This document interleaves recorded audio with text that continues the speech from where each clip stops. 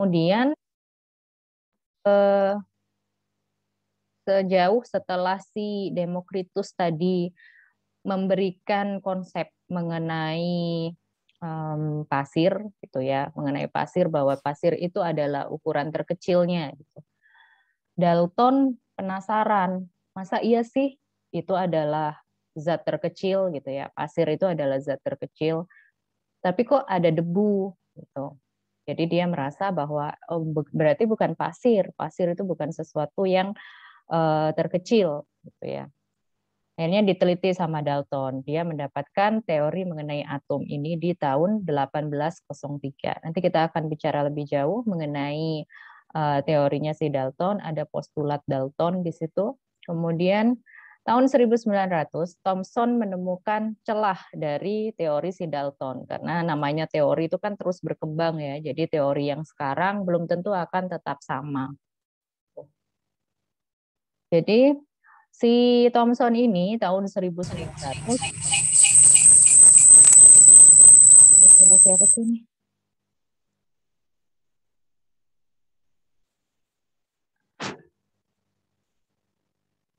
Oke. Okay. Kemudian Thomson tahun 1900 uh, dia menemukan celah dari uh, Dalton gitu ya, teorinya Dalton. Setelah ditemukan celah tersebut, maka Thomson melakukan penelitian-penelitian dan akhirnya ketemulah tahun 1900 ini uh, dengan menggunakan sinar katoda dan anoda gitu ya, dengan menggunakan lempeng tipis dan segala macam dia melakukan eksperimen akhirnya ketemulah teori mengenai atom menurut Thomson. Kemudian tahun 1911 Rutherford akhirnya tahu juga bahwa teori Thomson itu ada celahnya gitu ya. Dia akhirnya menemukan teori baru lagi. Kemudian Bohr. Bohr ini tahun sekitar 1930 kayaknya ya, sekitar tahun segitu. Si Bohr ini menemukan si teorinya Rutherford bahwa oh teorinya Rutherford sepertinya masih ada celah gitu ya. Akhirnya ketemulah teorinya Bohr atau menurut Bohr. Kemudian ini yang terbaru yang sampai saat ini kita gunakan teorinya atom dari mekanika kuantum. Nah, mekanika kuantum ini juga dipakai di fisika. Jadi fisika dan kimia untuk mekanika kuantum ini sama, ya. Kemudian inilah yang diakui sampai saat ini teorinya mekanika kuantum. Saya lanjutkan. Kita bahas satu persatu mengenai model teori atom tadi. Yang pertama adalah model atom Dalton. Di sebelah kanan ini, ini adalah gambarnya ya, bahwa oh ini loh teori atom Dalton, dia mengatakan bahwa atom itu adalah bagian terkecil dari materi. Tahu ya kemarin bedanya materi sama uh, atom? Sama senyawa. Masih ingat?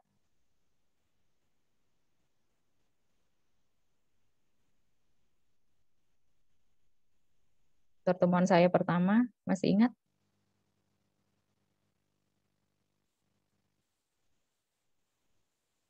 Atom apa? Masih. Atom apa kalau atom?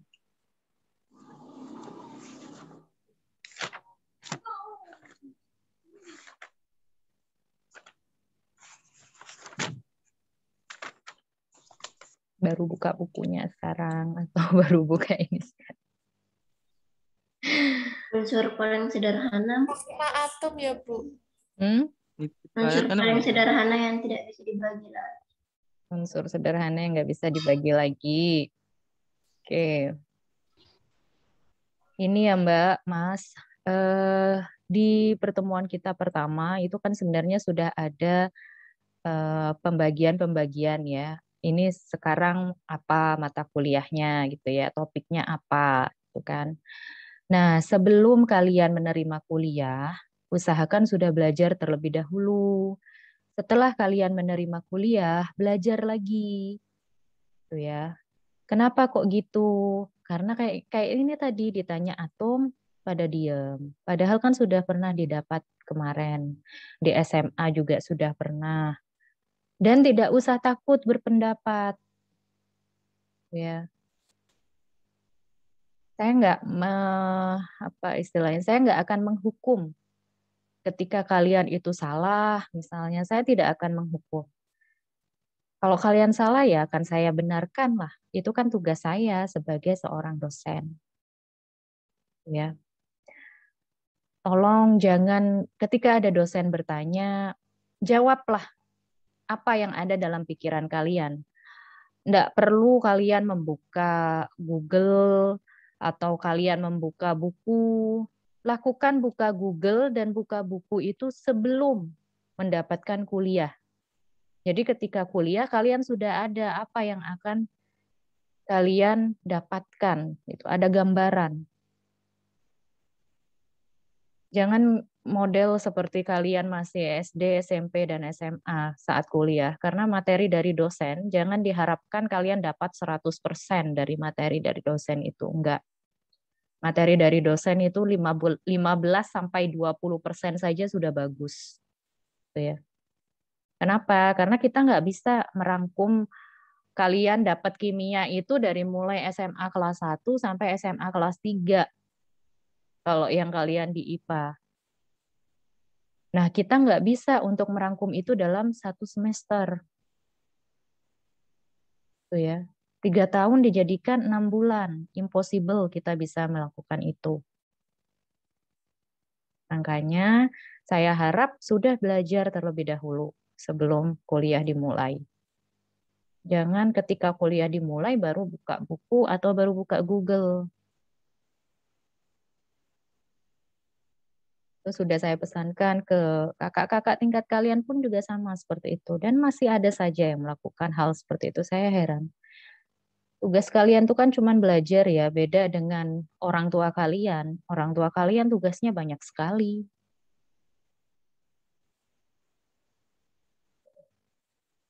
Oke, saya lanjutkan. Atom tadi adalah bagian terkecil. Senyawa.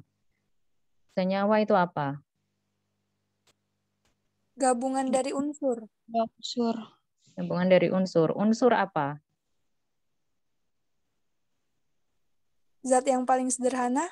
Nah, dan tidak dapat diuraikan lagi. Berarti unsur sama atom sama.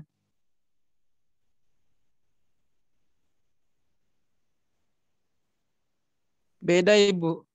Apa bedanya? Mengatakan Karena uh, unsur itu terdiri dari atom-atom yang berbeda. Unsur terdiri dari atom-atom yang berbeda. Atom-atom yang berbeda. Tapi katanya tadi unsur tidak bisa diurai lagi. Ya karena at, uh, terdiri dari atom, atom makanya tidak bisa di diuraikan lagi, Bu?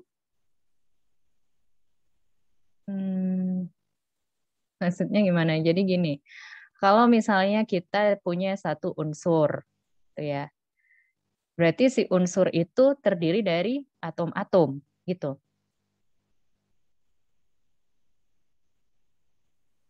Iya, Ibu. Berarti bisa diurai lagi dong unsur.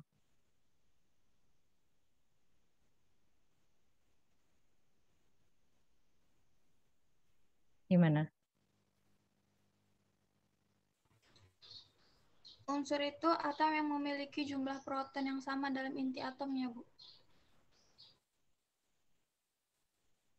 Menurut siapa itu, Mbak? Hmm. Di dulu waktu SMA-nya dapat seperti itu. Iya, Bu.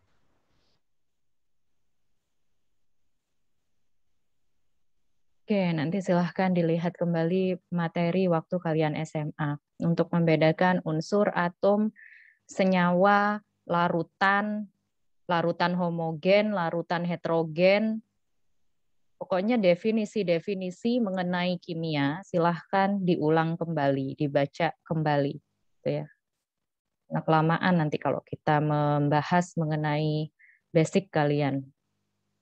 Nanti yang bukan jurusan dari eh, IPA bisa coba lihat di YouTube, bisa kemudian di Google ya. Sekarang itu zamannya sudah canggih sekali. Kalian tinggal tidur-tiduran di kamar aja udah dapat uh, informasi gitu ya. Oke, dulu atom Dalton, model atom Dalton itu dia mengatakan bahwa atom itu adalah seperti bola pejal. Bola pejal itu adalah bola yang tidak memiliki rongga. Ya. Jadi semuanya itu padat dia, nggak ada rongga sedikit pun. Beda dengan bola sepak. Kalau bola bola sepak buat sepak bola itu dia ada rongganya. Itu bukan bola pejal. Ya. Oke, dia menganggap model atom itu adalah bola pejal, tidak memiliki rongga. Dan dia mengatakan bahwa atom itu adalah eh, bagian yang paling kecil dari suatu zat. Ya, zat atau boleh disebut materi juga boleh. Dan dia tidak bisa dibagi lagi karena sudah merupakan bagian terkecil. Kemudian postulat Dalton lagi atau eh, postulat itu hukum ya, hukumnya Dalton mengenai model atom yang kedua itu adalah unsur yang sama itu tersusun dari atom yang identik. Jadi atom yang identik. Sementara unsur yang berbeda itu tersusun dari atom-atom yang berbeda. Jadi nggak sama gitu ya. Kalau yang identik itu seperti uh, kembar yang identik, yang sifatnya sama, kemudian wajahnya sama, dari segi fisik sama, dan seluruhnya itu sama. Ya, kalau manusia sih tidak ada yang benar-benar identik karena kembarnya pun sama, misalnya wajahnya sama, tapi sifat itu kan tidak sama kalau di manusia. Nah, kalau di atom ini beda lagi. Dia memiliki sifat-sifat yang sama pula. Makanya kalau kalian lihat di sistem periodik unsur ya di tabel periodiknya itu kan dikotak-kotakkan. Ini yang memiliki sifat logam, ini yang non logam, ini yang dia cair ya. Itu dikelompokkan berdasarkan sifat-sifatnya di tabel periodik itu sendiri. Oke, kemudian yang ketiga, atom-atom itu bergabung membentuk senyawa dengan perbandingan bilangan bulat dan sederhana. Jadi tidak ada atom itu yang memiliki bilangan yang negatif atau memiliki bilangan yang eh, desimal-desimal gitu ya. Dan dia sederhana juga. Kemudian atom tidak dapat diciptakan dan dimusnahkan. Ini teori dari Dalton. Walaupun saat ini para ilmuwan-ilmuwan ternyata bisa menciptakan atom. Oh. Tapi kalau untuk memusnahkan masih belum ada penelitian yang mengatakan bahwa atom bisa dimusnahkan. Tapi kalau diciptakan sudah ada. Buktinya kemarin ketika saya memberikan mata kuliah yang pertama, introduction mengenai kimia, kalian sudah lihat di angka 118 sampai 120 itu sudah ada atom-atom baru. Itu adalah atom-atom yang diciptakan oleh para saintis kita di pakar-pakar kimia kita. Ya. Oke, saya lanjutkan kembali. Kelebihan dari model atom Dalton ini, dia ternyata dapat menjelaskan hukum kekekalan massa apa hukum kekekalan masa bunyinya? Kemarin kan sudah saya berikan tugas.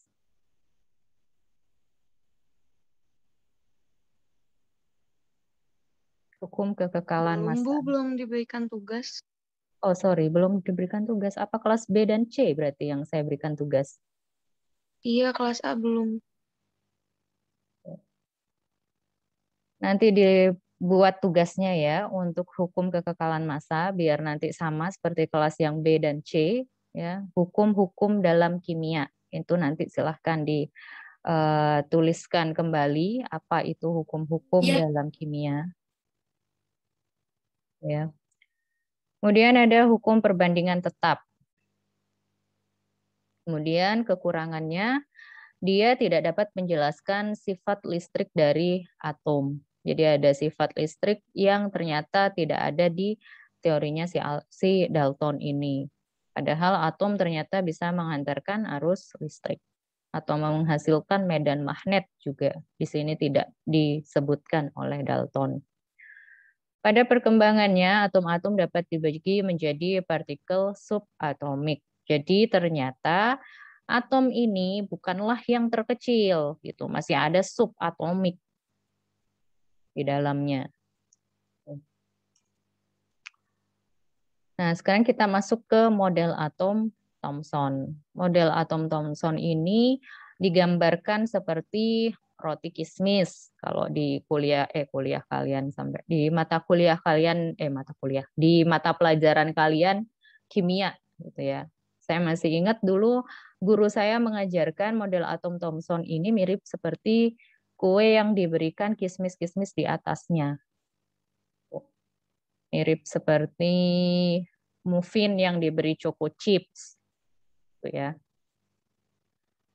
Atom itu adalah bola pejal yang bermuatan positif dan di dalamnya tersebar muatan negatif. Model uh, atom Thomson ini menyatakan bahwa muatannya itu adalah netral karena jumlah positif dan jumlah negatifnya itu sama. Ini menurut model atom si Thomson. Kelebihannya apa? Kelebihannya dia sudah menjelaskan bahwa ternyata atom itu punya muatan. Inilah yang menyebabkan adanya sifat listrik pada atom. Jadi dia melihat adanya yang tadi saya sebutkan di awal, dia melihat kekurangan si Dalton gitu ya. Oh ternyata ada listrik kok di dalamnya. Kalau ada listrik berarti ada apa nih? Oh berarti ada muatan yang negatif dan positif. Hanya saja dia mengatakan bahwa muatannya itu adalah e, netral dalam atom. Kelebihan yang kedua, dia dapat menjelaskan adanya partikel yang lebih kecil dari atom. Yang lebih kecil dari atom apa? Ini muatan-muatan ini ternyata lebih kecil lagi dari atom. Ya. Kemudian yang ketiga, membuktikan adanya partikel lain. Ini sama seperti tadi yang bermuatan negatif dan positif di dalam atom. Kemudian kelemahannya, dia tidak dapat menjelaskan susunan muatan positif dan negatif dalam bola atom.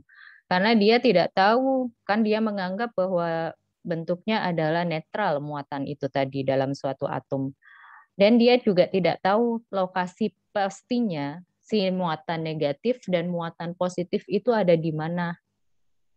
Dia hanya tahu bahwa oh ini loh ada atom gitu ya, ada atom dan di sini itu ternyata ada muatan-muatannya di dalam atom ini.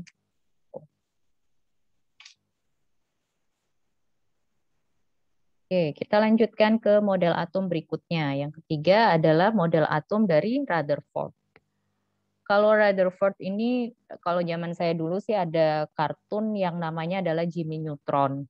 Nah, Jimmy Neutron itu bentuk lambangnya adalah seperti ini, seperti punyanya model atom Rutherford ini. Dan dia digambarkan sebagai ahli fisika memang si Jimmy Neutron itu. Saya nggak tahu kalau di zaman kalian ada nggak masih eh, apa namanya kartun-kartun yang seperti itu. Itu kartun yang mendidik sebenarnya ya dia memberitahukan ke kita mengenai teori-teori fisika mekanika kuantum. Eh, model atom Rutherford itu merupakan bola pejal juga. Eh, dia mengatakan sebagai bola pejal karena menurut Rutherford ini, kalau ditembakkan sinar alfa kepada atom tersebut, maka sinar alfa ternyata akan diteruskan. Gitu. Jadi dia menganggap bahwa oh bentuknya adalah bola pejal. Dia menggunakan lempeng logam tipis dan menembakkan sinar alfa di situ percobaannya. Nanti bisa dilihat di YouTube banyak sekali teori-teori mengenai ini. Silahkan bisa dilihat di YouTube tentunya yang terpercaya sumbernya. Ya. Wiper itu kan juga punya kan, eh, ruang guru itu punya YouTube. Kalian bisa lihat dari sana sebenarnya. Kemudian bunyi hukum. Bunyi hukumnya untuk yang Rutherford itu ada empat. Sebagian besar dari atom merupakan permukaan kosong. Kemudian atom memiliki inti atom yang bermuatan positif yang merupakan pusat massa atom. Jadi dia sudah memberikan uh, teori bahwa oh ini loh ternyata yang ada di intinya ini di sini itu adalah muatannya positif. Kemudian yang berada di luar yang warnanya biru-biru ini ini adalah muatan yang negatif sehingga dia mengatakan bahwa elektron itu bergerak mengelilingi inti tentunya dengan kecepatan yang sangat tinggi sehingga dia menghasilkan medan listrik. jadi dia menyempurnakan teorinya si eh, siapa tadi Thomson. Kalau Thomson kan dia nggak tahu letaknya berada di mana gitu ya. Jadi dia meneliti, oh letaknya itu ternyata di sini loh yang positif. Dan ternyata yang negatif itu muatannya di sini loh. Gitu ya. Elektron bergerak mengelilingi inti dengan kecepatan yang tinggi. Ini tadi sudah saya jelaskan. Kemudian yang keempat, sebagian besar partikel alfa lewat tanpa mengalami pembelokan dan sebagian kecilnya memang ada dibelokkan dan sedikit sekali yang dipantulkan. Itu adalah hasil eh, percobaan penembakan sinar alfa terhadap apa namanya lempeng tipis, lempeng tipis logam, ya yang akhirnya ketemulah bahwa oh ternyata posisinya si elektron dan eh, posisinya si uh, apa proton itu ternyata di sini tuh. Inti itu adalah proton, muatannya positif, sementara yang di luar-luarnya itu adalah muatan negatif. Dia menggambarkan ini seperti uh, bumi yang mengelilingi matahari. Tuh dia menganggap eh, mengilustrasikan gitu ya biar kita itu bisa membayangkan oh seperti apa sih? gitu. Kalau kita bayangkan bumi mengelilingi matahari teorinya kan dia akan tetap berada pada lintasannya gitu ya. Berarti si elektron ini akan tetap mengelilingi lintasannya tadi.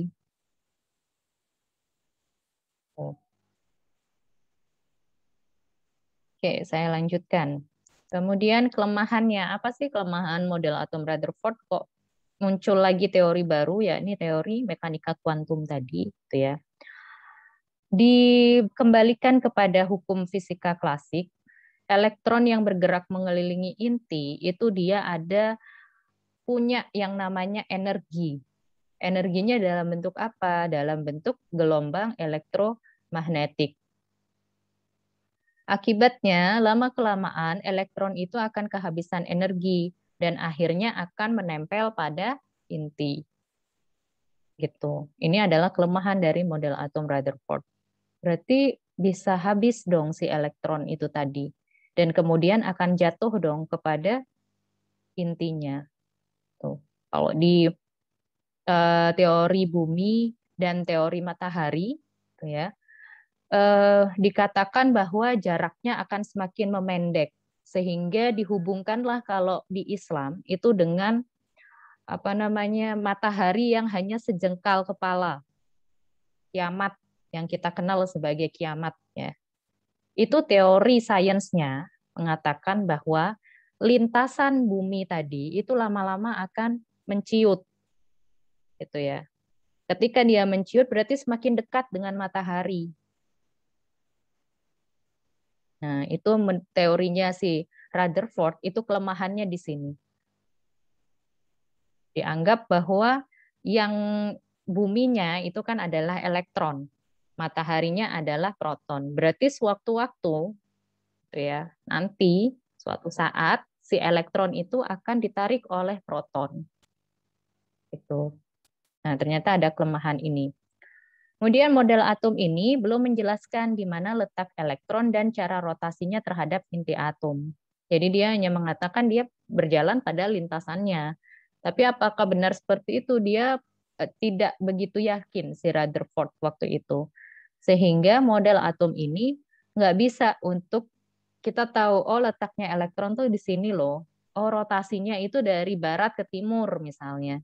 Atau dari kanan ke kiri, atau dari kiri ke kanan itu nggak tahu si uh, Rutherford ini ya Kemudian yang ketiga, elektron memancarkan energi ketika bergerak sehingga energi atom menjadi tidak stabil.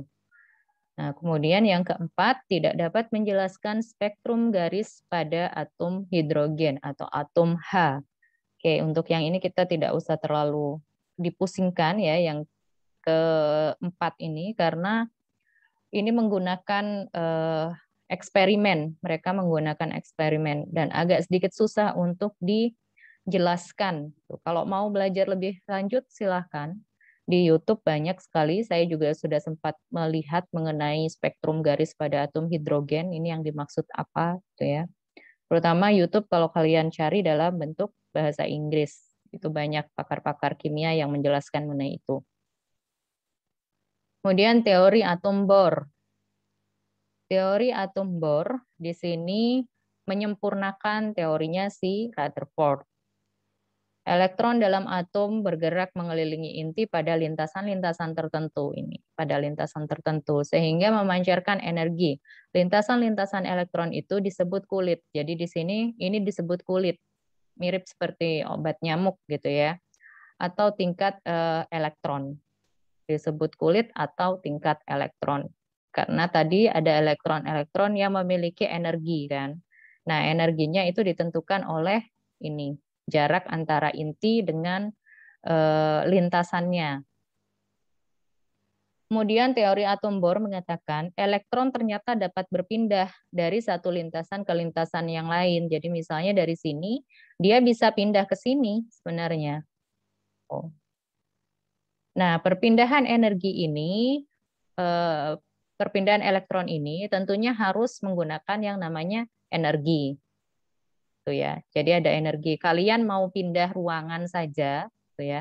Itu kan kalian harus punya energi. Kira-kira kalau kalian nggak makan, kira-kira kalau kalian nggak punya energi, bisa nggak pindah ruangan? Ini cuma tinggal diem aja kan, gitu ya. Nah ini sama seperti itu. Jadi dia harus punya energi. Kalau dia pindah elektronnya dari tingkat energi tinggi ke rendah, ya tinggi ke rendah, berarti dia memancarkan energi atau mengeluarkan energi. Sedangkan kalau perpindahan elektron dari tingkat rendah ke tingkat tinggi itu disertai penyerapan energi karena dia butuh butuh tempat. Ini ibaratnya seperti kalian mau dapat peringkat satu, gitu ya. Kalau kalian mau dapat peringkat satu, berarti belajarnya kan harus lebih rajin, Nah, itu sama seperti ini. Jadi dari tingkat eh, rendah ke tinggi, itu pasti effortnya lebih besar.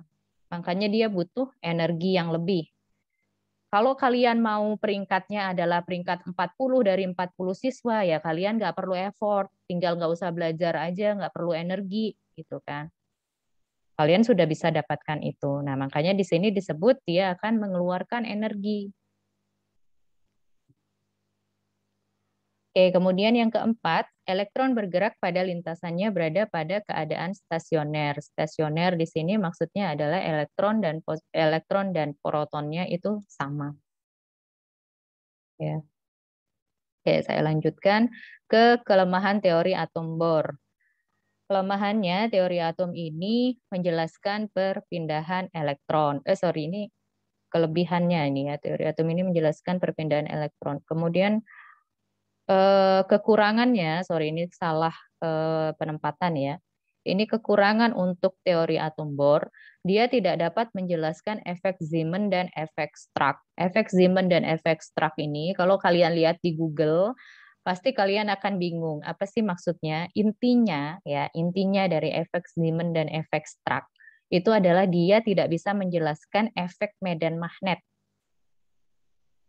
Tuh, pada teori atom Bohr ini tidak dapat menjelaskan kejadian-kejadian dalam ikatan kimia dengan baik. Kemudian pengaruh medan magnet terhadap atom-atom dalam spektrum atom yang berelektron lebih banyak.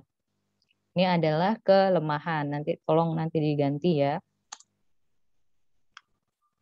Oke, model atom mekanika kuantum ini yang terbaru dan sampai saat ini masih digunakan.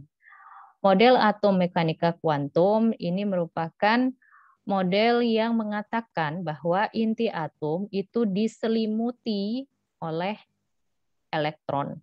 Jadi di sini ada awan-awan elektron. Inti atomnya adalah yang warna merah. Inti atom terdiri dari muatan positif. Sementara awan-awannya ini adalah elektronnya. Berarti negatif. Ya. Kemudian di sini juga ada teori yang mengatakan ada daerah yang disebut sebagai orbital. Nah, daerah orbital itu di mana? Daerah orbital itu di awan-awan elektron ini atau yang disebut lintasan tadi kalau di apa namanya? Rutherford ya. Sama si Bohr. Bohr juga mengatakan adalah lintasan. Nah, di sini dikatakan disebut sebagai orbital. Menurut teori ini ada empat jenis orbital yang sampai saat ini kalian gunakan di kimia. SPDF. Ya. Oke, sekarang kita masuk ke eh, perbedaannya antara atom Bohr dan mekanika kuantum. Kalau pada atom Bohr, elektron itu bergerak dalam lintasan yang bentuknya seperti lingkaran. Yang saya sebutkan tadi seperti uh, bumi yang mengelilingi matahari. Ya. Nah, kalau model atom mekanika kuantum, elektron bergerak dalam orbital dengan melakukan gerak gelombang. Ibaratnya ini seperti bumi yang dikelilingi oleh atmosfer. Jadi ada awan yang melindungi bumi tersebut. Awan itu adalah elektronnya. Kemudian yang kedua, elektron mengitari inti atom pada lintasan atau kulit dengan tingkat energi tertentu. Ini menurut teori atom Bohr. Kemudian teori atom mekanika kuantum mengatakan elektron akan mengitari inti atom pada orbital yang membentuk kulit. Sama-sama berada di kulit ya. Tapi dia tidak mengatakan ada tingkat energi tertentu di mekanika kuantum. Kemudian yang ketiga, posisi sebuah elektron yang bergerak mengelilingi inti atom dapat ditentukan. Sementara kalau di mekanika kuantum, posisi elektron yang bergerak mengelilingi inti atom itu tidak dapat ditentukan. Makanya dia menyebutnya sebagai awan elektron. Oke, kita masuk ke SPU, sistem periodik unsur. Kalau di sini adalah tabel periodiknya. Ini cuma sekilas saja sama seperti yang kemarin sebenarnya bahwa ada golongan-golongan di sini 1 sampai 8 yang seharusnya sudah kalian hafalkan ya. Dengan cara apa pun terserah, ada yang menggunakan pakai jembatan keledai seperti Helena kawin, Robi CS frustasi, bebek mangan cacing, serempet ban radial gitu ya. Bang Ali apa gitu ya. Pokoknya ini kalian bisa gunakan eh, jembatan keledainya. Ini banyak sekali orang-orang yang menggunakan jembatan keledai dengan berbagai macam singkatan. Jadi terserah kalian mau pakai yang singkatan yang mana, itu terserah. Yang penting kalian hafal dengan 1 sampai 8-nya. Karena buat menentukan apa, ini loh menentukan nomor atom nantinya ya. Sama kalau kalian mau menentukan konfigurasi elektronnya. Oh. oh, memangnya nanti pasien ada ya Bu ya menggunakan konfigurasi elektron? Ya emang nggak ada, nggak ada pasien terus bakalan tanya sama kalian ini konfigurasi elektronnya apa gitu, nggak ada. Berarti nggak guna dong Bu, bukan masalah nggak gunanya. Ini pengetahuan umum gitu ya pengetahuan umum mengenai tabel periodik. Kalau pengetahuan umumnya saja tidak kuat, bagaimana mau membentuk fondasinya? Kalau ibarat kalian mau bangun rumah, kalau fondasinya itu nggak kuat, rumahnya cepat roboh. Tuh, makanya kita menguatkan fondasinya dulu, biar rumahnya kuat. Silahkan dihafalkan, terutama bagi yang non-science waktu eh, apa namanya waktu SMA-nya, yang mungkin ada SMA penerbangan, SMK penerbangan, atau SMK kesehatan yang tidak memiliki mata pelajaran kimia, silahkan untuk menghafalkan ini dari golongan 1 sampai golongan 8. Dan ada periode juga, ya silahkan dihafalkan. Oke, saya masuk ke mengenal elektron, proton, dan neutron. Buat yang SMA-nya IPA, apa itu elektron, proton, dan neutron?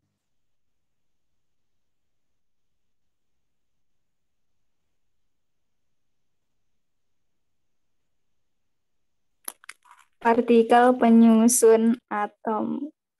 Partikel penyusun atom. Selain itu?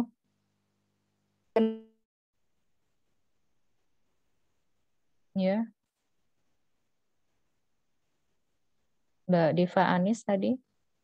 Selain itu apa, Mbak?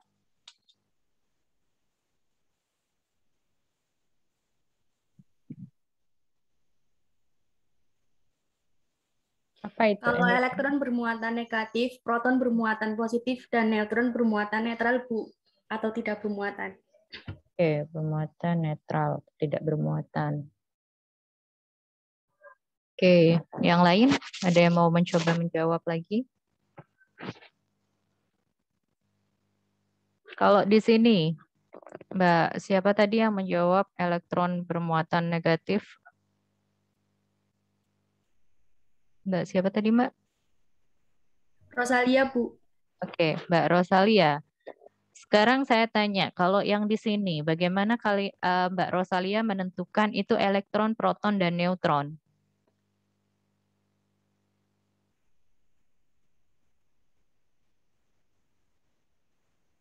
Gimana?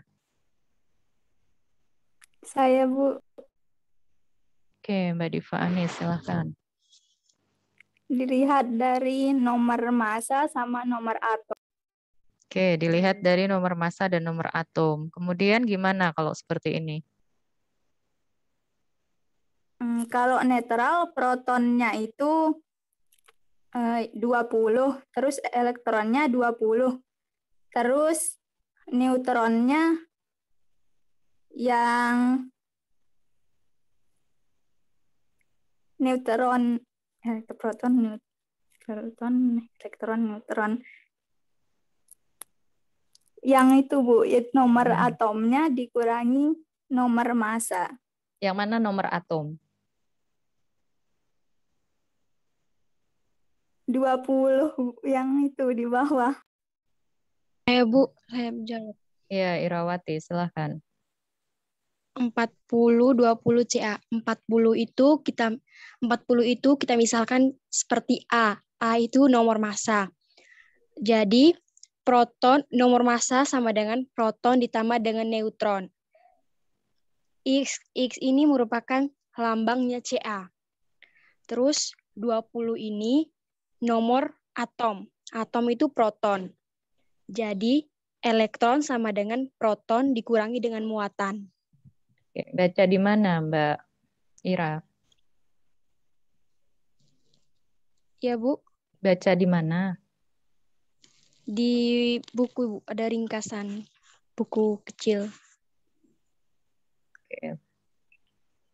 Um, saya rasa penjelasannya masih dalam bentuk uh, textbook sekali ya. Mungkin lagi lihat bukunya juga Mbak Ira.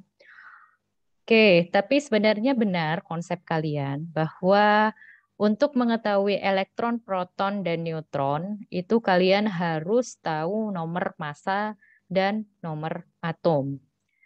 Tadi kalau kita lihat di tabel periodik unsur ya. Makanya saya harus saya memberikan tabel periodik unsurnya itu sejak pertemuan kita pertama. Biar kalian tahu mana sih nomor atom mana sih nomor massa gitu ya. Itu biar tahu. Di sini kan dikatakan ada nih nomor atom ya. Nomor massa itu biasanya ada di sini nomor massa. Jadi kalian tahu oh ini ternyata nomor atomnya, ini nomor masanya. Tuh. Oke, kita lihat di sini. CA 20 40. Yang 40 kita sebut sebagai apa? Nomor massa atau nomor atom? Nomor masa. Nomor massa. Oke, nomor massa. Berarti 20 adalah nomor atom. Atom. Oke. Nomor massa itu adalah yang 40, nomor atom itu adalah yang 20. Oke, udah paham. Kemudian untuk mencari eh, elektron, proton, dan neutron, kita akan bahas juga. Yang pertama, yang perlu kalian ingat bahwa kalau proton itu sudah pasti adalah nomor atom. Tuh ya. Kalau proton itu pasti nomor atom. Berarti di sini protonnya berapa? 20. 20. Oke. Ya benar, protonnya itu adalah 20. Kemudian prinsip kedua itu adalah neutron. Kalau kalian mencari neutron, itu adalah nomor massa dikurangi dengan nomor atom. Berarti neutronnya berapa di sini? 20. 20. Karena 40 dikurangi dengan 20. 20. Maka neutronnya adalah 20. Oke. Elektron itu sama dengan nomor atom juga kalau dia muatannya tidak ada. Ya, ini kan tidak ada muatan nih di sini. Beda dengan yang ini. Ini ada muatan. Muatan itu yang mana? Ini loh. 2 plus min ya. Cl min itu juga adalah muatan. Ya. Maka kalau yang dia muatannya di sini netral, tidak bermuatan, elektron itu juga sama dengan nomor atomnya. Maka 20, 20, dan 20. Semuanya 20. Sekarang kita lihat gimana menentukan elektron kalau dia ada muatan. Yang SMA-nya IPA, gimana caranya? Golongan ditambah satu, ditambah Tambah satu, ditambah golongan, ditambah Nomor nomor atomnya di dikurangi dikurangi min 2. kurangi min 2. Dikurangi min 2, berarti jadi positif dong. Iya, Bu, kita Ya, Bu.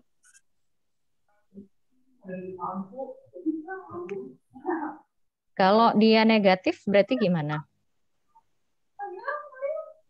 Muatannya negatif, misalnya Cl min.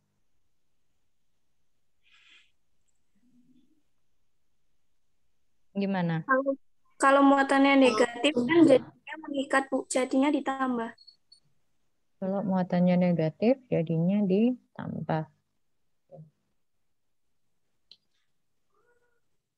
Oke, kita lihat sekarang. Kalau dia positif, berarti dia melepas elektron. Berarti kalau dia negatif, dia akan menyerap elektron. Makanya tadi dikatakan oleh teman kalian itu akan ditambah. Tuh ya. Berarti kalau melepas elektron dia akan di di apa? Dikurang. Kurang. Oke. Berarti kalau kayak gini elektronnya berapa? 22. 22. 18, Bu. 18. Oke. Oke, gitu ya prinsipnya. Jadi kalau kalian eh, yang pertama kalian tahu itu pasti adalah protonnya terlebih dahulu. Proton karena dia akan selalu sama dengan yang namanya nomor atom. Ya. Berarti protonnya tetap 20. Kemudian neutronnya tetap karena tidak ada pengaruhnya dengan muatan. Yang ada pengaruhnya adalah elektron. Kalau dia positif berarti akan dikurangi karena dia melepas elektron. Ingat tadi dikatakan bahwa kalau energi tinggi ke rendah, berarti kan nggak butuh effort. ya. Berarti dia memancarkan energi, dikeluarkan. ya. Kemudian kalau dia berada pada yang rendah ke tinggi, maka dia harus menyerap energi. Tuh. Oke, silahkan latihan untuk uh, menentukan proton, elektron, dan neutron. Coba saya minta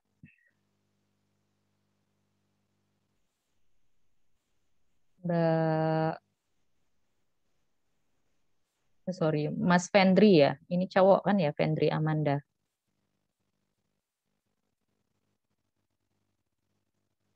Iya Bu, cowok Bu. Oke, silahkan. Untuk yang ini, berapa proton, berapa elektron, dan berapa neutronnya.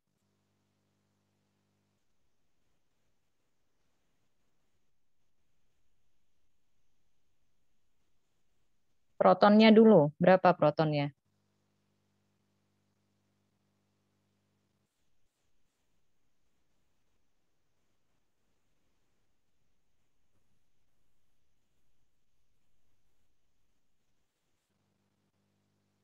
Protonnya berapa, Mas Fendri? 32, Bu. Proton, proton, Mas. Proton itu nomor massa atau nomor atom?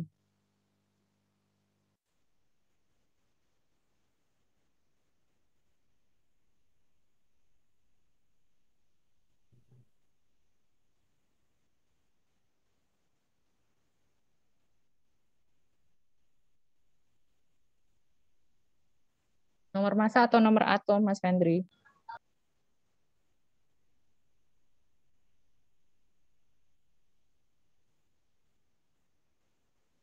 Proton, proton ya Bu ya? Mm -mm. Bu? Iya. Protonnya 16 Bu. Nomor masa atau nomor atom? Proton itu sama dengan apa? Dengeran nggak Bu suara saya? Bu? Iya, iya, dengar, dengar.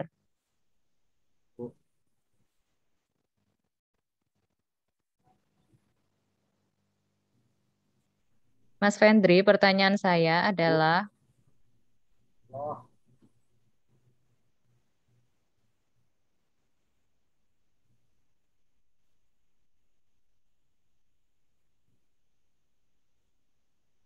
Oke, lewati saja Mbak Rara, Rara Hasina Tuzahra. Protonnya berapa Mbak Rara? Yang nomor atom. Mm -hmm. Berarti?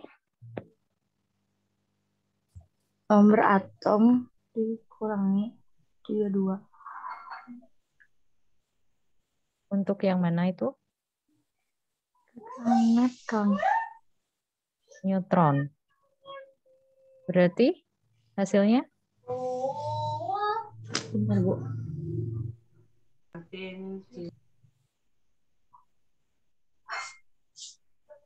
16. 16. Min 16. Min 16. Teman-temannya yang lain benar nggak? Enggak, Bu. Enggak, Bu. 16. 16. Bu, 16. Iya. Tolong fokus ya, walaupun kita kuliahnya adalah online, saya harap kalian fokus. Itulah kenapa saya minta kalian kalau bisa itu on cam, kalau bisa. Saya tidak mewajibkan memang. Tetapi saya minta kalau bisa kalian on cam. Kenapa? Karena biar fokus kuliahnya. Kalau kalian nggak on cam, kalian bisa sambil tidur-tiduran. Tuh ya. Kalau sambil tidur-tiduran, lama-lama itu ngantuk.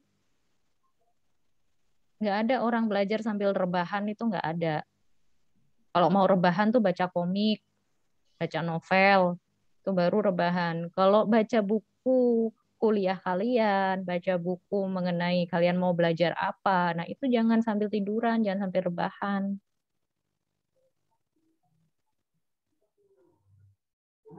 Tuh. Maaf Bu, si- sinyal saya barusan hilang Bu. Ah, Oke, Mas Fendri. Ya Bu, maaf kalau ininya on cam jadi itu Bu sinyalnya hilang-hilang. Ya, saya nggak masalah kalian nggak on cam, tapi kalian teorinya saja nggak bisa gitu loh. Mbak Rara tadi bilang minus 16. Pernahkah saya mengajarkan ada minus 16 di situ? Loh. Saya nggak masalah kalian mau on cam, kalian nggak on cam. Saya benar-benar tidak mempermasalahkan itu. Asalkan ketika saya bertanyakan pada kalian, kalian paham. Itu berarti kalian menyimak. Saya juga saat pelatihan, kadang nggak on cam. Kenapa? Karena saat saya pelatihan, saya harus ngejar kalian juga. Jadi fokus saya pun sebenarnya terpecah. Tapi ketika mereka menanyakan pada saya, saya tetap bisa jawab. Saya bertanggung jawab karena saya dikirim oleh kampus untuk pelatihan. Jangan dikira dosen itu nggak pernah belajar. Dosen justru lebih, lebih, lebih belajar daripada kalian. Makanya saya suka jengkel gitu ya. Kalau lihat ada mahasiswa yang enak-enakan, sudah kuliah dibayarin orang tuanya, gitu ya, nggak kasihan tah sama orang tuanya. Hmm? Nggak kasihan? Kasihan Bu. Kasihan Ibu. Ya iya kasihan. Harusnya kalian kasihan sama orang tua kalian. Biayain kalian biar kalian tuh bisa lulus, dapat pekerjaan yang baik, lebih baik dari orang tua kalian kalau bisa gitu ya. Dan orang tua kalian tuh nggak mengharap apa-apa sebenarnya Mbak, Mas. Sayang, kalian bisa punya kesempatan kuliah tapi nggak kalian pakai. Ini kan mudah sih sebenarnya. Tadi saya sudah jelaskan di awal. Nih loh, Mbak Rara ya. Ya, Bu. Neutron itu adalah nomor massa dikurangi nomor atom. Yang mana? Yang 40 dikurangi 20. Dalam sistem yang seperti ini selalu atas dikurangi bawah. Nggak pernah ada penulisan itu nomor massa ada di atas kalau penulisannya yang seperti ini. Karena itu sudah standar. Jadi kalian bisa menggampangkan gitu ya untuk hafal. Yang atas dikurangi bawah itu adalah neutron. Neutron itu tidak ada hubungannya dengan muatan sehingga akan tetap seperti itu. Yang ada hubungannya itu adalah elektron. Kalau di sini ada muatan, ada 2 plus, ada plus, ada 3 plus gitu ya. Berarti itu akan mempengaruhi elektronnya. Kalau yang plus itu berarti dikurangi. Kenapa kok dikurangi? Karena tadi dia dikatakan melepas elektron. Kalau dia negatif muatannya, misalnya di sini adalah min, 2 min misalnya. Berarti dia akan menangkap elektron. Kalau nangkep berarti kan dia dapat tambahan elektron, berarti ditambah. Tuh. Ini mudah sekali ini. Nanti saya coba lagi ya.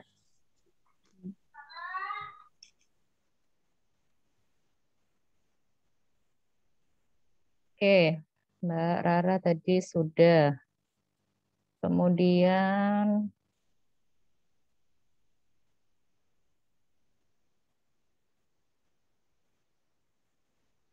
Mutiara Fajrin.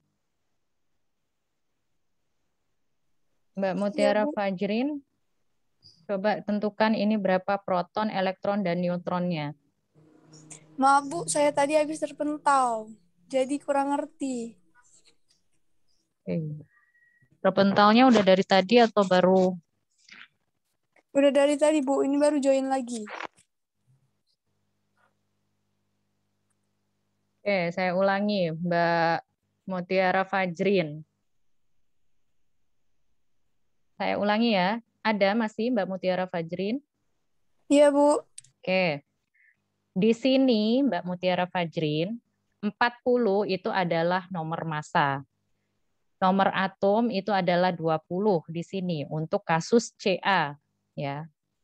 Untuk menentukan neutron, neutron itu adalah nomor massa dikurangi nomor atom. Berarti yang atas dikurangi bawah. Kemudian kalau proton, proton itu selalu sama dengan nomor atom. Kalau elektron, dia nomor atom sama dengan nomor atom jika, ada jikanya, tidak memiliki muatan. Muatan itu apa? Ini loh muatan itu. 2 plus, CL min misalnya, 3 plus, 3 min, 2 min itu adalah muatan yang ada di atasnya si atom, jejer dengan nomor massa. Ya. Nah, kalau yang ada muatan seperti ini, berarti kita lihat dulu muatannya positif atau negatif. Kalau yang positif berarti dikurangi karena dia melepaskan elektron. Kalau yang dia negatif, maka harus ditambah elektronnya karena dia menangkap elektron. Oke, sekarang kembali. Masih ada Mbak Mutiara Fajrin? Ini gimana? Proton, elektron, dan neutronnya.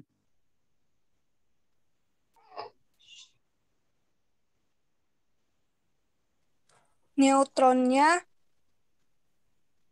eh, 32 dikurang 16 sama dengan 16. Hmm. Protonnya 16 Hmm. Elektronnya 18 ditambah 2 sama dengan 20. Mana ada 18? Eh. 16 ditambah 2 sama dengan 18. Tuh ya. Yang lain sudah paham? Sudah, Bu. Sudah, Bu. Kami, Bu. Kami, Bu. Kemudian saya coba lagi satu orang. Ini masih ada latihannya.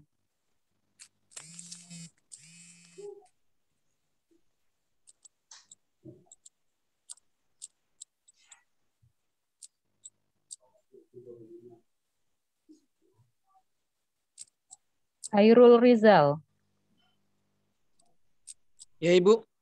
Ya, coba latihan yang ini. Berapa proton, elektron, dan neutronnya?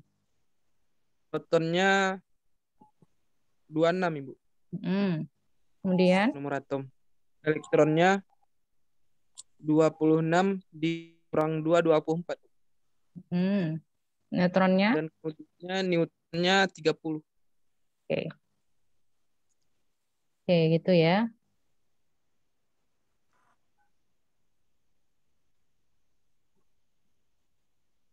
Oke, kita sekarang masuk ke uh, materi berikutnya mengenai isotop, isobar, dan isoton.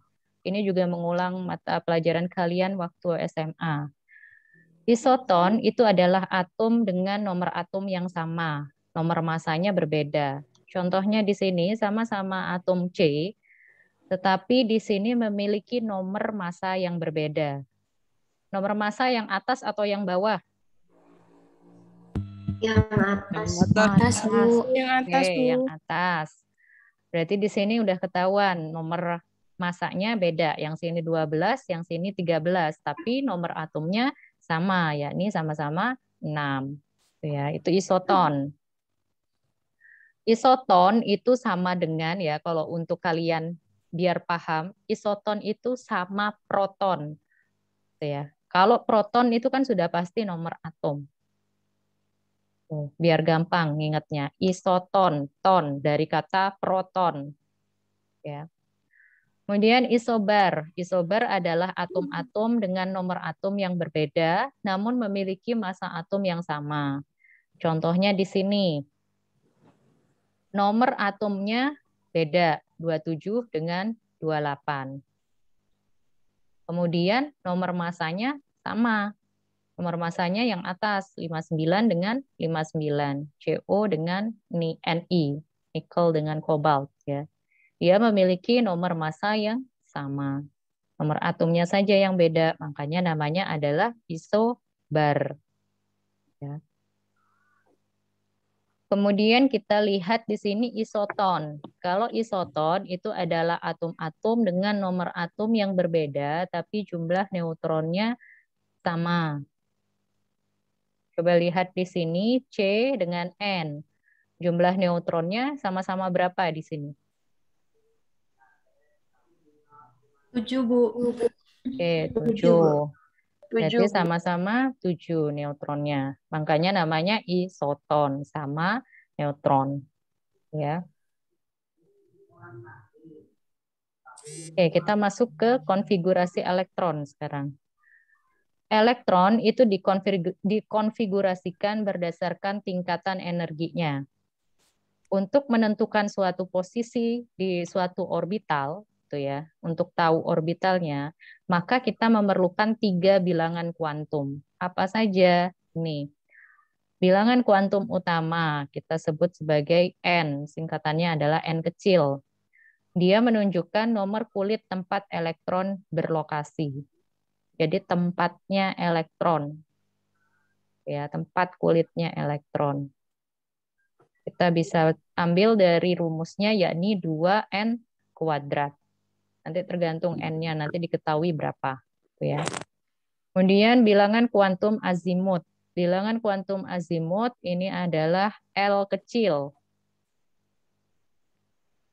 Jenis subkulit atau sub dari tingkatan energi. Gitu ya. Itu adalah bilangan kuantum azimut, L singkatannya. Dia akan menentukan bentuk orbital. Rumusnya L itu adalah N-1. Jadi ketika bilangan kuantum utamanya ketahuan, maka L-nya akan ketahuan. Ya. Contohnya L-nya bisa 0, 1, 2, 3, dan seterusnya. Kemudian bilangan kuantum magnetik atau kita singkat sebagai M kecil. Ini nggak boleh dirubah-rubah ya. Jadi kalau nulis L besar gitu itu salah. Karena memang ini adalah penamaannya. Jadi N kecil, L kecil, M kecil, S kecil. Ya. Bilangan kuantum magnetik atau M dia akan menentukan orbital tempat elektron itu berlokasi. Kemudian bilangan kuantum spin atau S kecil, dia akan menentukan kedudukan elektron dan arah rotasi elektron dalam orbital. Yang plus setengah dengan min setengah, yang ada tanda panahnya. Sebenarnya tanda panahnya itu bukan satu begini ya, tapi setengah panah.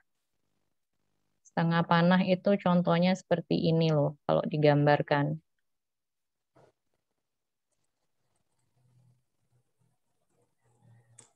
Nah, setengah panah itu begini. Jadi sebenarnya bukan panah, tapi karena di Word-nya saya susah mencari gitu ya. Nah, jadinya seperti ini seharusnya dia. Oke.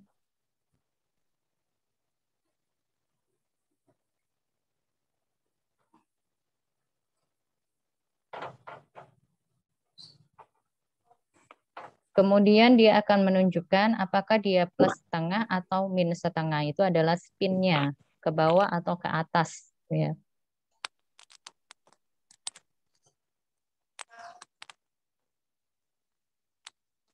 Nah, ini adalah bilangan kuantum yang tadi saya sebutkan, di mana ada bilangan kuantum utama atau N, kemudian azimut atau L, nama orbitalnya apa, kemudian ada M, M itu adalah magnetik, dan S adalah untuk spin.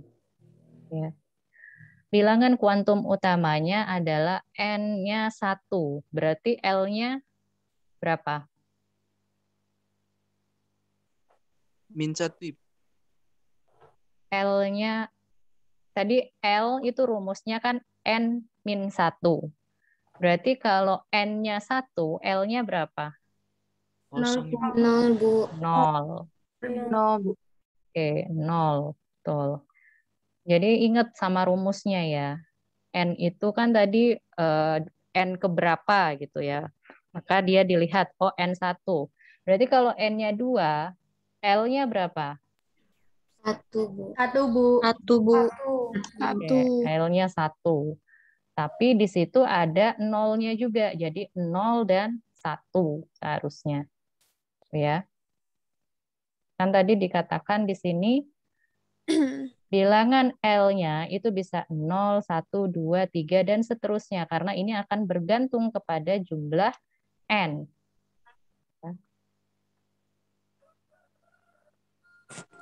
Oke, kemudian kita masuk nama orbital. Kalau nama orbitalnya ini adalah 2S. Jadi SPDF. Nanti di slide berikutnya kita akan bicara mengenai nama orbital. Kemudian M. M tadi rumusnya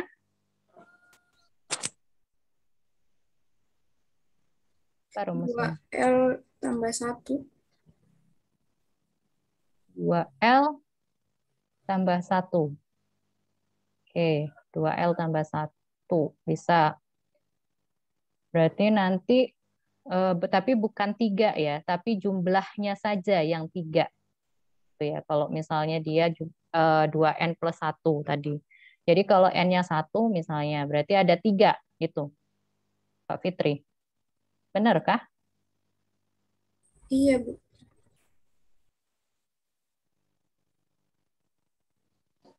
Saya menuliskan rumus apa di M? Tidak ada. Oke. Ya. Dilihat di sini. M itu bisa min 1 sampai dengan 1 plus 1. Atau kalau dia misalnya dimulai dari min 2, berarti min 2 sampai dengan plus 2. Kalau dia dimulai dari min 3, maka dia akan dimulai dari min 3 sampai plus 3. Gitu. Seterusnya ya. Seterusnya dia akan sama seperti itu. Oke, kita lihat di sini. Kalau N-nya 1, Tadi L-nya kan N-1, berarti 0. Nama orbitalnya ini adalah 1S. Kita akan belajar nama orbital nanti. Kemudian untuk M-nya ini berarti 0. Ya. Kemudian S-nya kita lihat di sini plus 1 dan min setengah.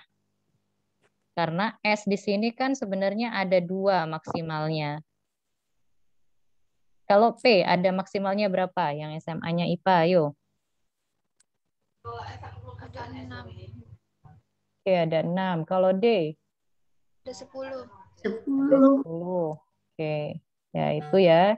Yang saya maksud nanti untuk yang S-nya ini, untuk tahu di mana nanti posisinya, apakah plus setengah atau min setengah. Ya. Ini akan seterusnya sama seperti itu. Kita masuk ke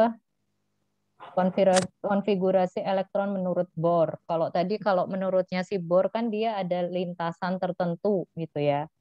Kalau kalian ingat teorinya si Bohr itu kan di sini ada inti, kemudian di sini ada elektron, elektron dengan lintasannya. Ini kayak obat nyamuk gitu ya. Konfigurasi elektron menurut Bohr ini adalah jumlah elektron maksimalnya adalah 2n kuadrat, di mana K sama dengan 2, 1 kuadrat sama dengan 2 elektron. Contohnya misalnya, untuk atom C, eh, kalau kalian menggunakan sistem Bohr itu sebenarnya gampang, lebih ke arah gimana jelasinnya ya? Dua dengan Eh, empat gitu ya. Kalau C itu dua dengan empat. Jadi mudah. Ini hanya ditambahkan saja karena S tadi itu kan paling maksimal adalah dua. Kan kalau di bor itu kan intinya itu kan begini ya, inti kemudian nanti di sini. Nah, di sini itu adalah S, kemudian di sini adalah P gitu. Terus dia berjalan seperti itu. Nah, jadi kalau ada muatannya itu misalnya seperti C tadi dua 2 dengan 4. Kok bisa begini, Bu? Karena 2 ditambah 4 itu kan hasilnya 6. Dan dia tidak lebih dari 8. Sehingga boleh dituliskan 2 dengan 4. Kalau NA 11 berapa? 281. 281. Kenapa kok enggak 29? Karena cuma bisa 8, Bu, L-nya. Oke, karena cuma bisa 8. Betul ya. Jadi prinsipnya kalau untuk konfigurasi elektron yang Bohr ini yang paling cepat untuk menentukan dia kulit di mana sebenarnya. Ya. Kalau untuk si Bohr ini, elektron valensi itu adalah elektron yang berada pada kulit terluar. Jadi kalian bisa lihat apa elektron valensi atau kulit kulit yang terluar. Ini loh kulit yang terluarnya. Ya. Kalau dia prinsipnya kurang dari 18 dan lebih dari 8, maka dituliskannya 8 lagi. Jadi kalau di sini misalnya adalah eh, NA itu adalah 2 dengan 9, ini salah. Gitu ya. Kenapa? Karena dia paling maksimalnya adalah 8. Berarti ini salah. Harus diganti 2, 8, satu. Tuh. Ya. Oke, saya lanjutkan. Coba menulis menggunakan yang bor. Tentukan konfigurasi elektron valensi dari atom 12 Mg. Coba Mbak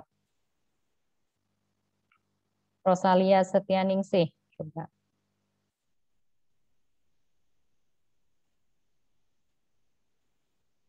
Rosalia Setianingsih, adakah? Eh, Bu. Ya, silakan Mbak. Berapa kalau konfigurasi elektron menggunakan sistem Bohr untuk yang pertama MG? 282. Oke, 282. Betul ya. Kemudian untuk yang SC, yang SC coba Cynthia.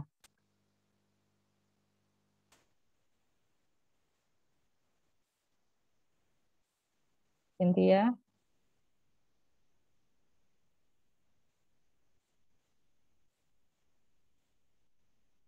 Di ini Oke, silakan. Dua delapan sepuluh satu. Dua delapan sepuluh satu. Dua delapan sepuluh satu. Kenapa kok nggak sebelas? Karena maksimalnya 10, Bu. Oke, karena maksimalnya 10. Oke, nanti kita lihat jawaban kalian apakah benar atau tidak. Ya. Kemudian Mbak Penny Aryani. Silahkan jawab yang Arsen, AS 13.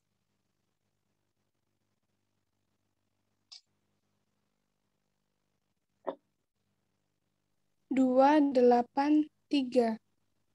Dua, delapan, tiga. Oke. Mudah kan ya kalau yang seperti ini? Sorry, itu salah ya. Jadi jawaban kalian sebenarnya sudah benar. Ini belum saya ganti kayaknya. Jadi tadi udah benar ya. 2, 8, 2. Kemudian 2, 8, 10, 1. Kemudian 2, 8, 3 ya. Oke, kemudian konfigurasi elektron menurut mekanika kuantum. Itu ada tiga prinsip yang tidak boleh dilanggar. yakni prinsip Aufbau, di mana pengisian elektron itu dimulai dari energi yang terendah sampai ke energi tertinggi. Jadi kalau yang di kolom terendahnya belum penuh gitu ya, itu nggak boleh pindah. Ya. Kemudian aturan Han. Aturan Han ini dia mengisi elektron harus sendiri-sendiri dahulu baru berpasangan. Kalau kalian lihat yang panahnya itu loh, yang panahnya separuh-separuh itu itu harus diisi dulu. Ya. Kemudian ada larangan Pauli. Larangan Pauli itu dua elektron tidak boleh memiliki bilangan kuantum yang sama. Oke, kita masuk ke contohnya aja. Nih, kayak gini loh. Di sini jumlah maksimal elektronnya kan kalau S itu 2 ya. Kalau P 6, kemudian kalau D itu adalah 10 ya. Berarti kalau kalian mau menggambar panah untuk satu S2 arah panahnya ke mana dulu? Yang pertama. Ke atas, Bu. Oke, arah panah ke atas dulu. Ini baru ke bawah. Ini ya. Kemudian untuk 2S2, ini juga masih sama. Berarti ke atas dulu, kemudian baru ke bawah. Ini. Kemudian 2P6. Nah, inilah yang larangan tadi yang harus kita patuhi. Harus diisinya itu gini dulu. ini dulu ya. Semuanya harus seperti ini dulu. Baru, oh udah tiga, udah full. Baru gini. Ini untuk tahu nanti spin. Bilangan kuantum spin. Nah, baru seperti ini. Tuh ya. Yang ini juga sama. Jadi seperti ini. Eh, sorry. Ini harus penuh dulu. Tapi kalau kalian sudah paham dengan konsepnya, boleh kalian mengisinya tidak penuh terlebih dahulu seperti ini. Misalnya kalau di sini sudah angka misalnya adalah 7. Gimana spinnya kalau seperti ini? Ini berapa spinnya sudah? 6, Bu.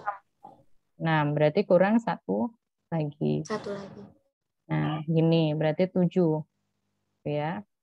Berarti dia akan jadi minus setengah. Tuh ya.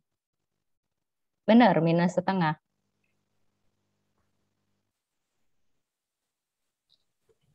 Benar nggak?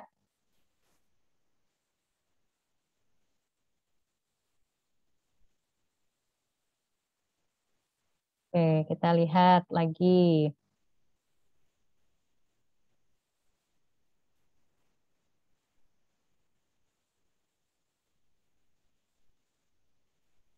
Nih, kalau ke bawah ini minus setengah. Jadi kalau ditanya jangan ragu.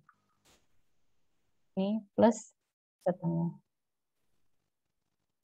Ya, kalau ke atas panahnya ini kan karena saya tidak menemukan panah yang separuh gitu ya. Ini sebenarnya panah aslinya seperti ini. Nah, tuh ya. Jangan ragu-ragu, Mbak. Kalau benar, nggak apa-apa, katakan benar. Dosen itu bukan Tuhan, jadi dia kadang tidak sempurna juga. Kadang juga bisa salah, gitu ya. Boleh mahasiswa menegur dosennya itu boleh sekali. Ini tadi aja saya salah nih, karena tidak memperbarui slide-nya. Seharusnya ini bukan 24 kan, ini kan slide yang tadi karena saya copy dan saya lupa gitu ya tidak memperbarui lagi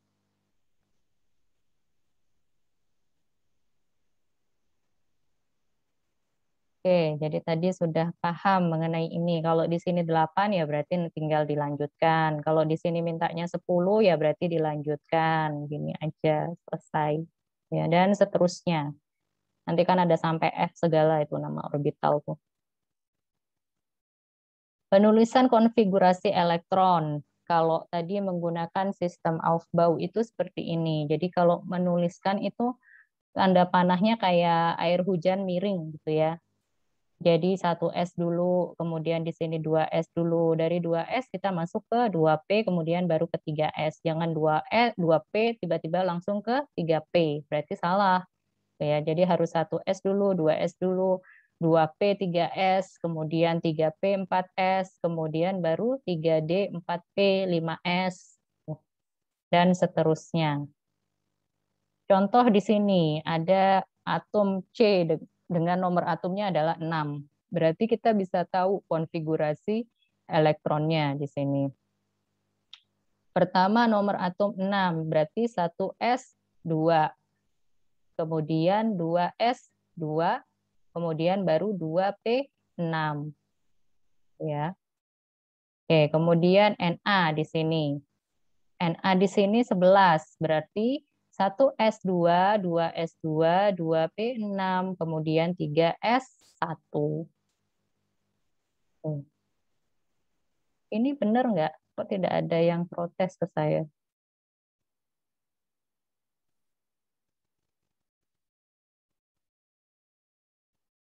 Benar nggak atom C konfigurasi elektronnya gitu? Salah. Berapa seharusnya?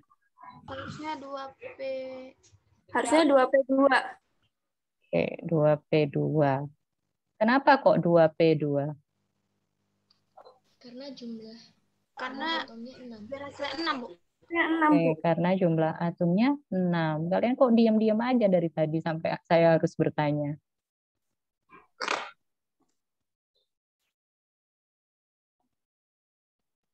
Harusnya 2P2. Ya, sengaja disalah-salahin malah nggak ada yang protes ya. Kok bisa begitu, Bu? Ini kita lihat di 6. Kan dia menyatakan bahwa konfigurasi elek- elektron valensi itu adalah elektron terluar. Nah, kita lihat di sini ini jumlahnya harus 6. Berarti ini harus ditambahkan 2 ditambah 2 maka ditambah 2. Bu, kenapa kok nggak 2 S4? Nggak ada karena S tadi jumlah maksimumnya 2 gitu ya. Kalau P jumlah maksimumnya adalah 6. Nah, yang ini kan sama nih, 2 ditambah 2 ditambah 6 berarti 10 ditambah 1 berarti 11. Oh ya, berarti sama seperti nomor atomnya. Jadi yang berada di sini itu harus sama dengan nomor atom yang berada di atas itu. Oke. Oke, saya lanjutkan untuk cara cepat. eh, Ini slide terakhir sebenarnya ya. Untuk mengetahui cara cepatnya, itu sebenarnya gampang, ada singkatannya. Si, sapi, sapi, sedap, sedap, sevedap, sevedap. Tuh ya. Kalau kalian lupa, oh si sapi, berarti kan kita udah tahu tuh, si sapi berarti S. Si-nya itu adalah S.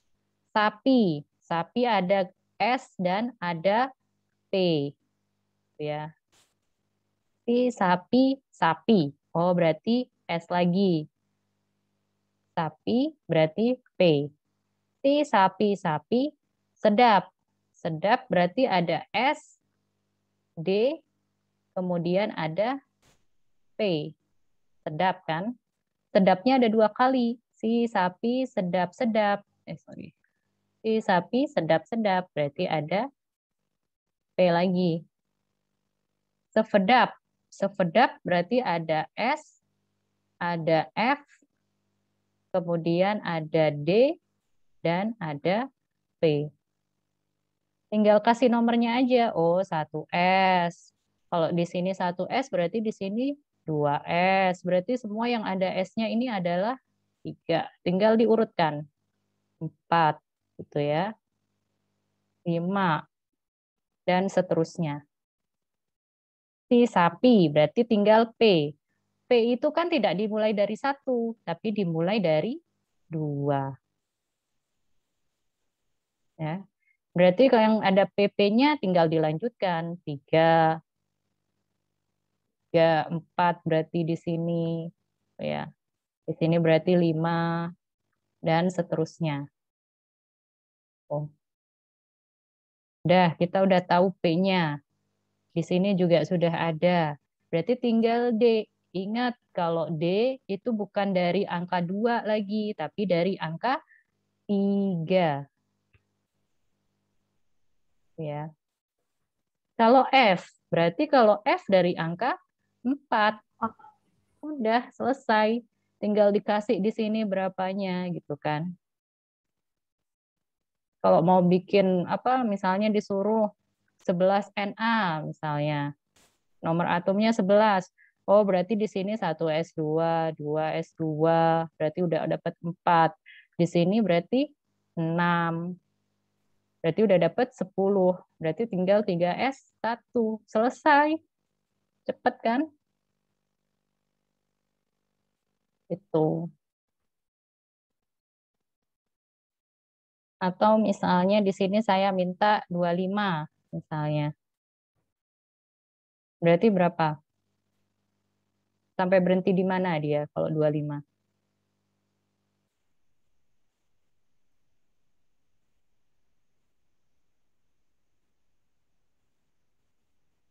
Oke, 2, 6. Berarti udah berapa? 12, 14, 16, 18. Masih kurang, 20. Berarti di sini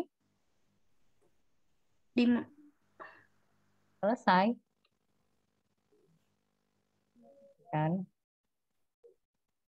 Lebih cepat kalau kalian bisa menggunakan cara ini. Jadi kalau pas ujian gitu ya, saya dulu kalau ujian bikinnya seperti ini, jadi lebih cepat ngerjainnya.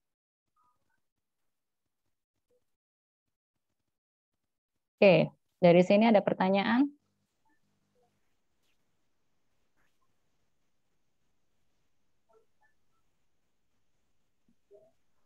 Untuk mata kuliah kimia kita kali ini sudah bisa Tadi untuk bilang ada tugas dikumpulkan apa? Bu? Mm-mm, tugasnya yang dikumpulkan adalah mencari eh, teori Hukum dasar. mengenai hukum kekekalan massa ya, empat hukum dasar kimia. Di dalam Word, Bu ya. Iya, dalam Word. Link pengumpulannya, Ibu? Link pengumpulannya nanti ke email saya.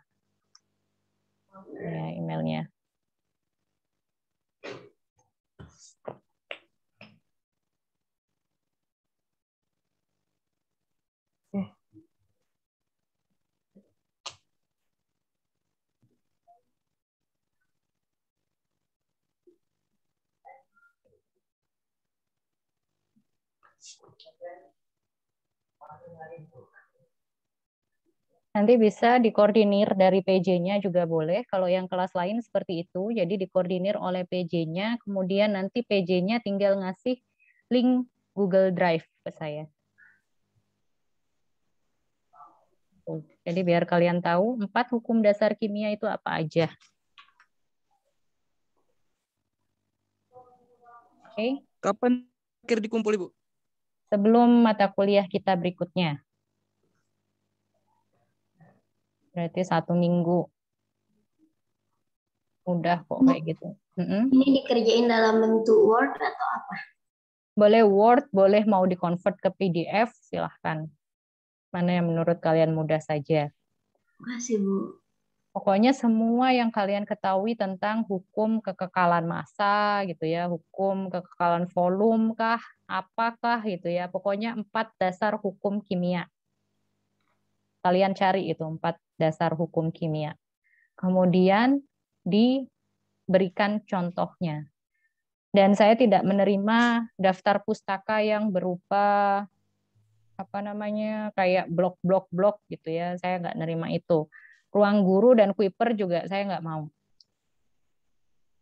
Ya, jadi harus dalam bentuk buku, jurnal, atau dalam bentuk eh, apa namanya web-web yang terpercaya.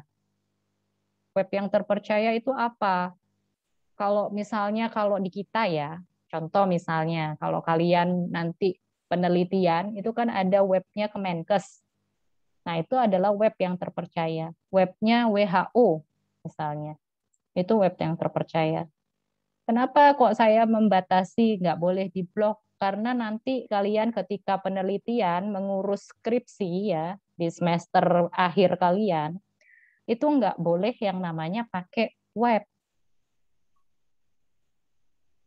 pakai makalah, pakai skripsi orang itu nggak bisa, harus buku dan jurnal. Gimana caranya biar bisa tahu eh, caranya cari bukunya gitu misalnya ya.